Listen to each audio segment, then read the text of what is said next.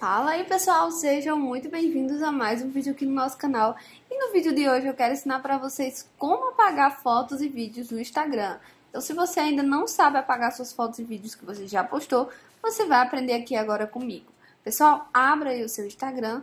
Ao você abrir o seu perfil do Instagram, ele vai estar desse jeito aqui no feed. Então o que, que você vai fazer? Você vai vir aqui no seu perfil, tá certo?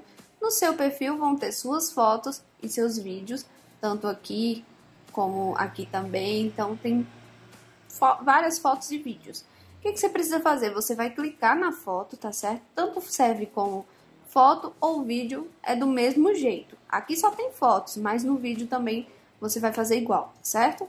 Clica aqui na foto. Clicou aqui na foto, você vai clicar nesses três pontinhos aqui de cima.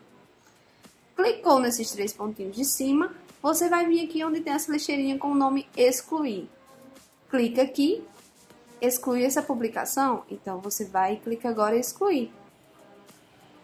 Pronto, vou te mostrar que excluiu aquela foto, tanto serve como foto, como vídeo, e vou excluir outra para você ver que não vai ficar nada, tá certo?